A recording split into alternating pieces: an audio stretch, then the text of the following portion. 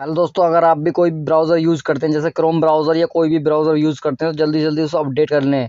दोस्तों, इसमें बहुत बड़ा बग आया है, जिससे आपको बहुत बड़ी दिक्कत हो सकती है, अगर आपका फ़ोन हैक कर सकते हैं इस वक्त की वजह से। इसलिए दोस्तों, आपको कुछ नहीं करना, इसे अपडेट कर लेना। लेटेस्ट वर्जन आपके मोबाइल में अपडेट होना चाहिए।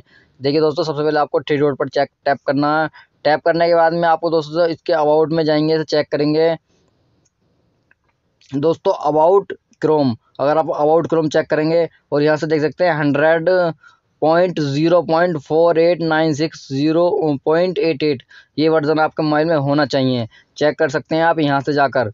मतलब आपको सबसे पहले आपके मोबाइल की सेटिंग में जाना है सेटिंग में जाने के बाद में आ, मतलब क्रोम ब्राउज़र की सेटिंग में जाना अबाउट क्रोम पर जाना यहाँ से आप चेक कर सकते हैं। अपडेट कैसे करना उसके बारे में बता देता हूँ। दोस्तों सबसे पहले आपको प्ले स्टोर में चले जाना। है प्ले स्टोर में जाने के बाद में आपको कुछ नहीं करना है यहाँ पर आपको क्रोम टाइप कर देना।